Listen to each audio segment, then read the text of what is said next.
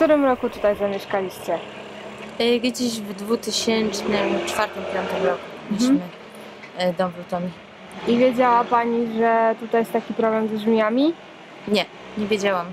Nie miałam o tym pojęcia. Zresztą na początku, jak się wprowadziliśmy, to nie widzieliśmy też żadnej żmii. Kiedy problem zaczął narastać? Właśnie zaczął narastać tak z 3 lata temu, 4 lata temu. Pierwszy raz zobaczyliśmy żmiję. E, ukąsiła u nas kozę, później dwa razy ukąsiła psa. Mhm. E, I coraz częściej widzimy coraz bliżej domu. Jedną żmiję znaleźliśmy półtora metra od domu.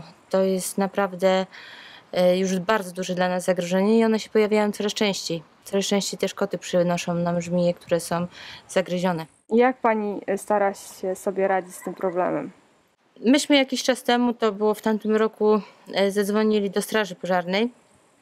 Jak znaleźliśmy żmiję tutaj na podwórku, e, bo wiedzieliśmy, że to jest e, gatunek, który jest pod ochroną. No ale niestety kazano nam zabezpieczyć żmiję i po tym jak ją zabezpieczymy, Straż Pożarna przyjedzie i wwiezie ją do lasu. No ale ja się pytam, jak ja mam zabezpieczyć? Mam ją wziąć do rąk i trzymać ją w rękach do przyjazdu e, Straży Pożarnej. Nikt nas nie przeszkolił, nikt nie powiedział, jak to zrobić, nie mamy do tego żadnych sprzętów. To jak my mamy sobie radzić? Czy mamy liczyć na łód szczęścia, że może akurat żmija e, tym razem zamiast ukąsić psa, e, nie ukąsić naszego dziecka? Bo już psy zostały pokąsane, e, koza została ukąszona, to teraz co, co? Czas na dziecko, tak? Tylko kwestia kiedy.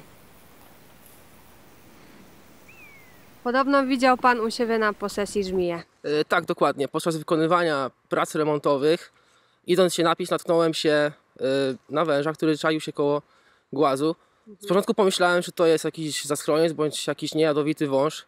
No ale gdy zobaczyłem wzory, to od razu wyciągnąłem telefon i po prostu zrobiłem zdjęcie, żeby to udokumentować, bo nie spodziewałem się, że w takim miejscu jak Lutomia m, może się znajdować jadowity wąż.